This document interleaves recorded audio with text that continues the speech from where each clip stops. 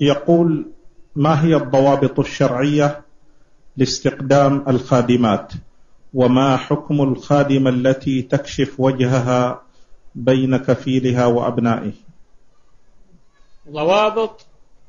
أول شيء الخادمة لا تستخدم إلا عند الضرورة.